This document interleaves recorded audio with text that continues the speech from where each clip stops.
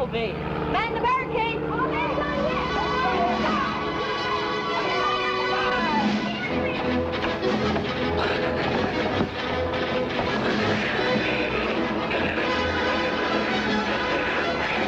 Too high, way out of range. Where do you think he's heading? Probably gonna beat up Indian River. No, well. Wait for him. He'll be back.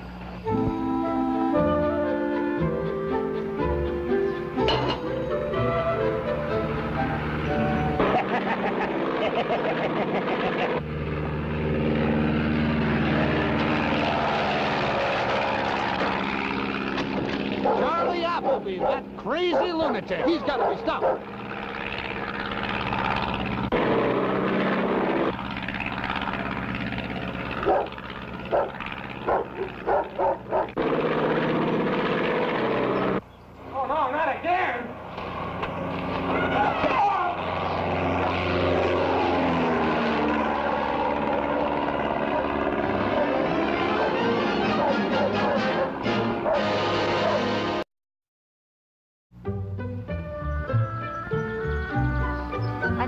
Thought you guys said he was gonna come back. He will, but not the way we expect. Full of surprises, old Charlie. Hey, you guys waiting for the enemy or what? No, he's waiting for Charlie. We're gonna shoot him down.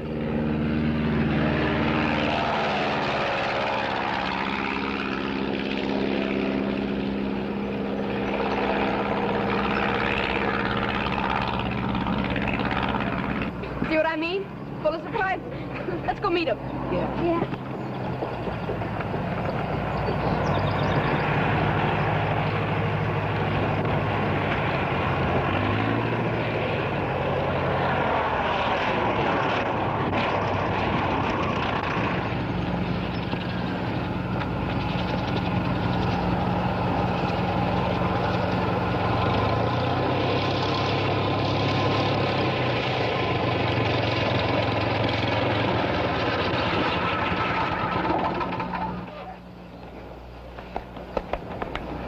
Got you the first time.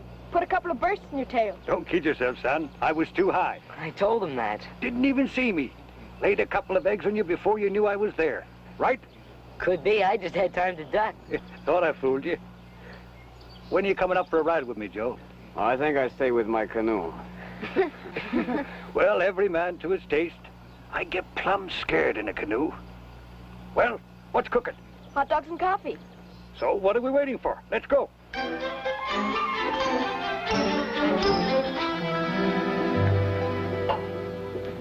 Well, he made it this time. Fortunately, it's a big country. He doesn't come through here too often. He's been through here twice too often already today. Now, what's his background, anyway? I don't know very much about him. He told me about himself one time. He started flying during the First World War, couldn't settle down afterwards. Tried his hand at a number of things, and then went bush piloting during the Depression back in the 30s. He's been at it ever since. He's an old-timer. Oh, he certainly is. Incidentally, he's quite a scholarly old-timer. He can make Zeke look like quite a monkey. Well, maybe so. But still got to do something. If he goes on like this, he'll kill somebody. Oh, I don't know. He knows how to fly. Yeah? Well, that machine looks as though it might be tied together with string. It is. I guess he's just pretty good with knots. You say he goes to the fort? Might just get him there. Thanks for the coffee. Watch out, Sergeant. I told you what he could do with Zeke. Well, much obliged to you. Enjoyed my lunch. There's no hurry. Why don't you stick around for a while? Like to, but duty calls. I've a customer to pick up some way north. Wants to get back to the city in a hurry. Thinks he's discovered gold, poor guy. He won't stay poor long if he has. Hmm, depends on what you mean by poor. Kinda like a car coming.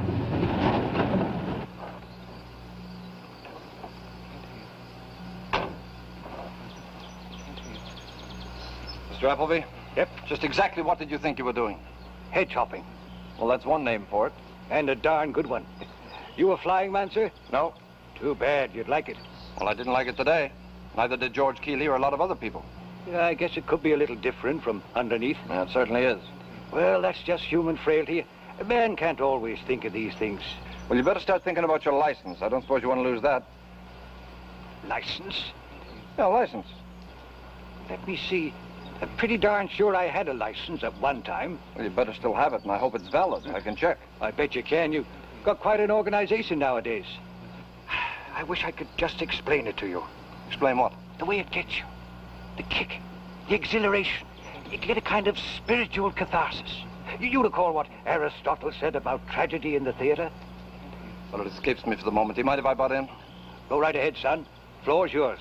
I want to fix this business of low flying over Indian River. Low flying? You never got within a couple of feet of it. Yeah, well, a couple of feet isn't enough. Now, look, I don't want to make a big thing out of it, but it's got to stop, understood? Sure, that's the way you feel about it. Just so long as I don't forget myself. Won't happen again, but sometimes get a little carried away. Well, make an effort. Do me best for you, son. Just so long as I remember. I'll tie a knot in something. I'm told you're good at knots. Nice kid. well, time I got myself airborne.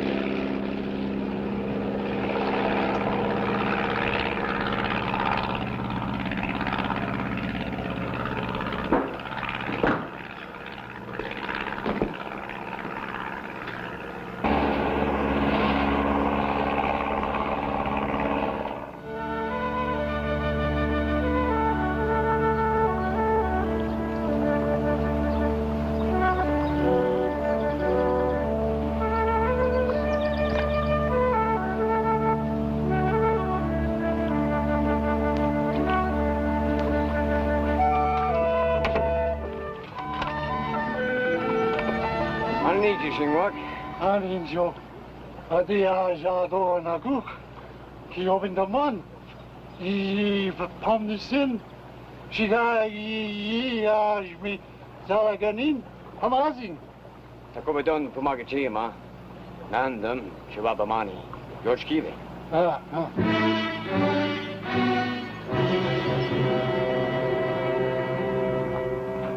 Hi, Joe. Hey, I think you better come in. Why, is something wrong? I don't know yet. Maybe. Hi. Shingwak. I think you better talk to him. Sure, what about? Well, he thinks he saw an aircraft crash two days ago. Two days ago. It took him two days to come down the river by canoe. You sure you saw a plane crash? I see.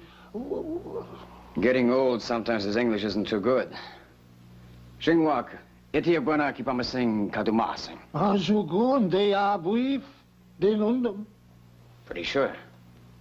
Where? I'm de ima.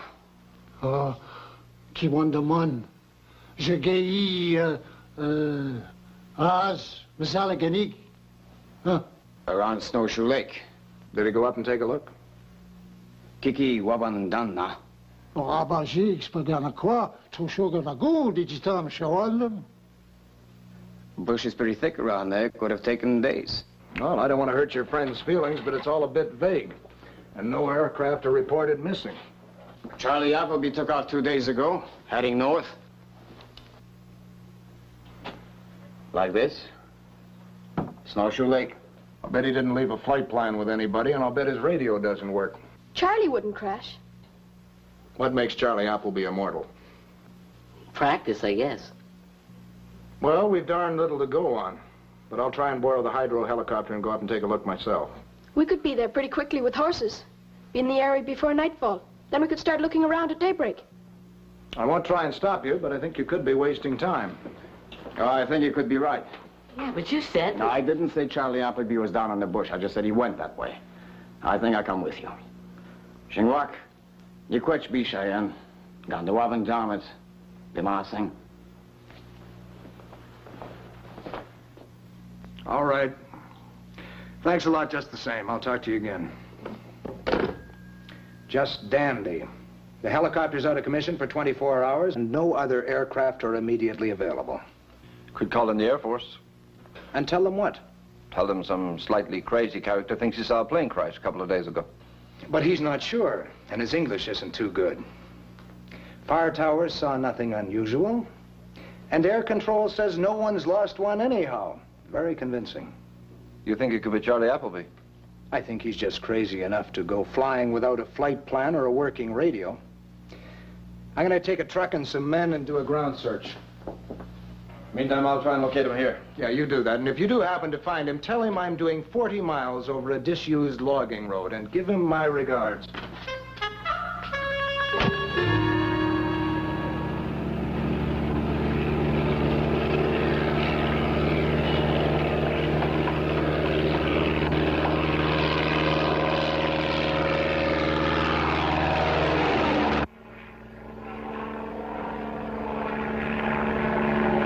Just before I leave, I don't suppose you found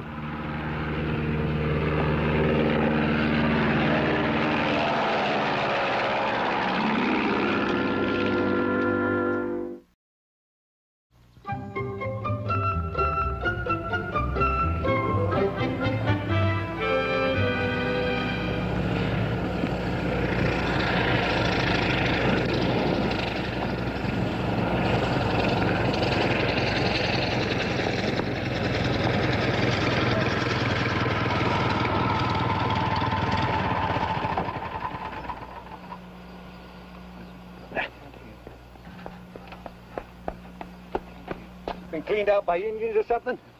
Place looks deserted. Where is everybody? Looking for you, I guess. Me? You're supposed to have crashed back in the bush. I don't crash. You people ought to know that. What are you doing here? You decided to stay home and let me perish? I got the short end. I'm on radio watch. I see. Like some hot chocolate? I just put some on. That's a nice idea. And while we're drinking it, you can tell my brave rescuers they can come home. They call me back on the radio around 5. I can't get in touch with them before that. Well, they're getting plenty of fresh air and exercise. It's like another rescue party. Or have you been... Never came below 10 feet.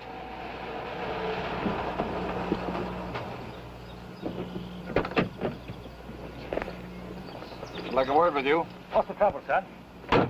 We got a report suggesting you might be lost in the bush. I don't get lost in my own backyard. You don't have a very good memory either. Didn't we have a little talk about low flying? That's right. Well, how about when you went over a few minutes ago? I was at least 10 feet above your office. But what do you expect, son? I don't carry oxygen. Say, what got you thinking I might have gone in? An Indian claims he saw a plane go down in the neighborhood of Snowshoe Lake. Well, it wasn't me. Could have been somebody else, though. I think he's an unreliable witness, and no planes are reported missing. Still, can't afford to take a chance. I know that. Like me to go take a look? Save me 40 miles over a logging road. Okay. Be back in Indian River around 6 o'clock. Fine, I'll be in my office. And come in at ground level on foot. I'll uh, tie a knot in my rudder bar. Like to come along for the ride, son? Yeah, I sure would. Okay, let's go. You got a radio?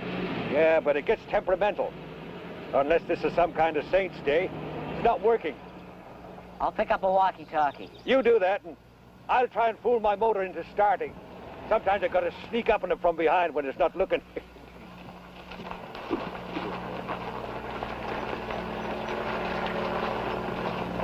you hear it?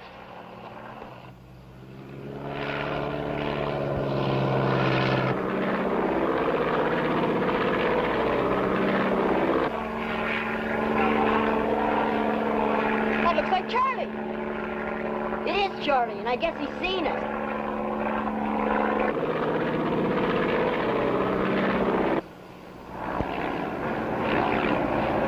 If that's Charlie, he can't be down in the bush.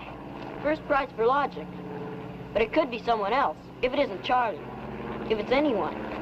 If you know what I mean. Second prize for logic. What do we do now, Joe? Well, I think we go on for a little. Snowshoe Lake isn't far.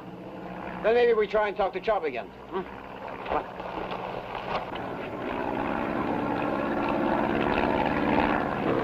You see the kids down there?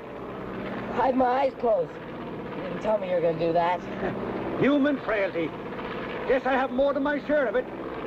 You want to talk to them on that gadget of yours? Just, just give me a couple of minutes. Be over Snowshoe Lake in a couple of minutes. That's it right ahead.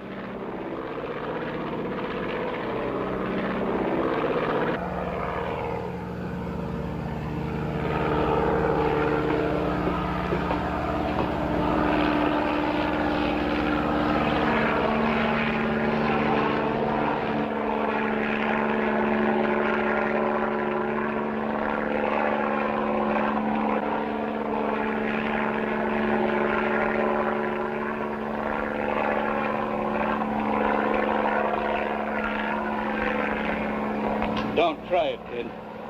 Just keep out of sight and you won't get hurt.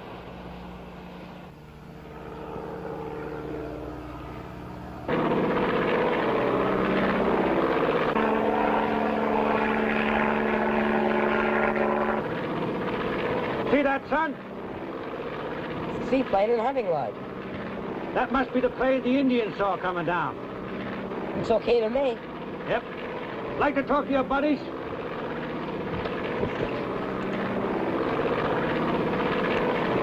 XNY 556, B for Bob. Smith, please, over. XNY 556, B for Bob. Smith, please, over. Hey, Chub, where are you? Over. Above Snowshoe Lake. Look, Mike, there's a seaplane parked on the lake with a hunting lodge. It looks okay. Will you check it with Joe? Over. Okay, Chub, stand by. You get that, Joe? That's the Harvey place. I guess they opened it a little early this year. Think that's the plane Shingwak saw? I think so. Maybe we just check at the lodge tomorrow. But it seems all right. Okay, Chub, panic's over. Be seeing you. Over and out. Joe thinks it's okay. Fine. Might just go down and take a look at the whites of their eyes. Hold on to your hat, son. Eh, hey, hey!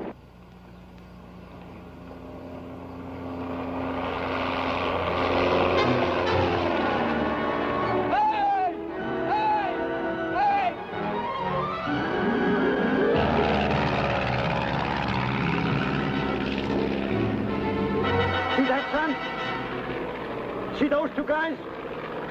What two guys? Guess you must have dozed off. I'll just look around for a place to land. In this bush? Oh, as long as it's as big as a half dollar, I can make it.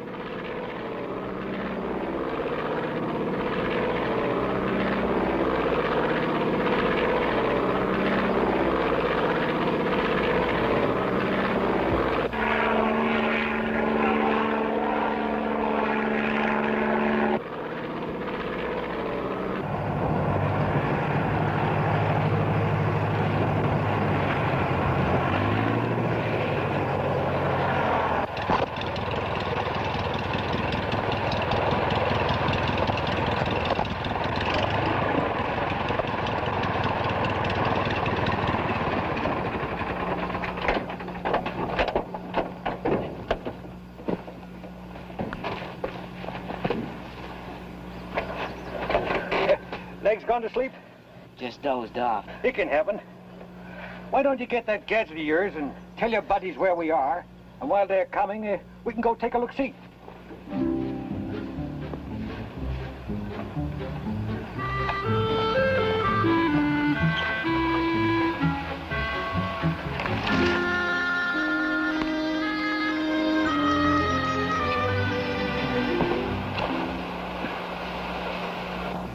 Boy with the gun. The one with his hands tied must be somewhere inside. How do we separate them? That float plane is tethered pretty close to the shore. Now, if I could take off on her, That'd make them think. you stick around and extemporize. Come again? Do what comes natural, son.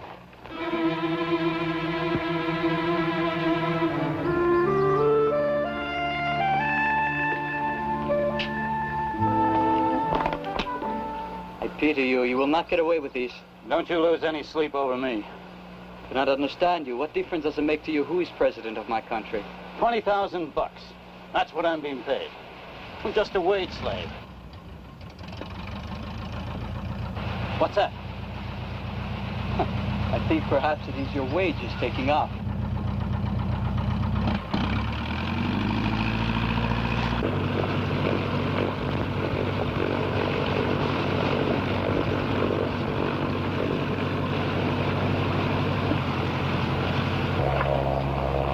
Who are you?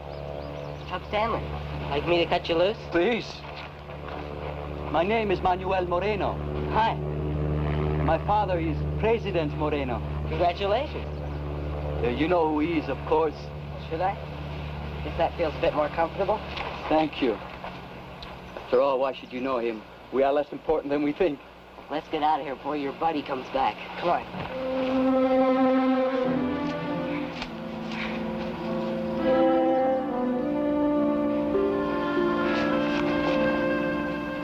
Oh, hi. Just waiting for Charlie.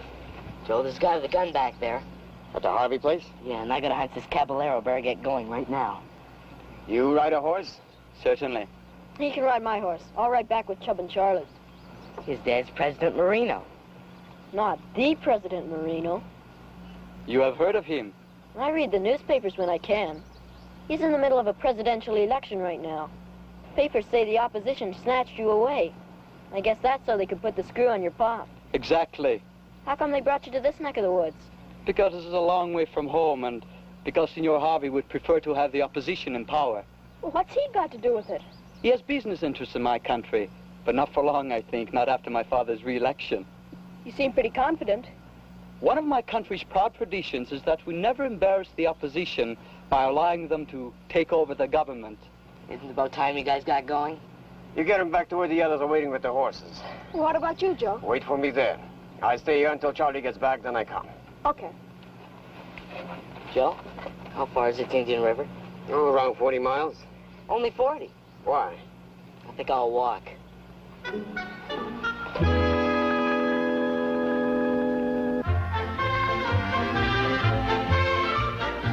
Hey, President Marino's in again.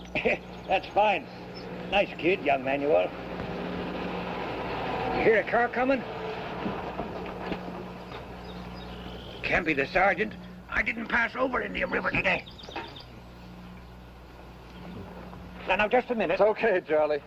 This came through diplomatic channels. I understand it's a citation for courage, resource, just about all the domestic virtues, signed by President Marino on behalf of a grateful nation. Won't stop you from getting hungry, but it'll look great up on the wall.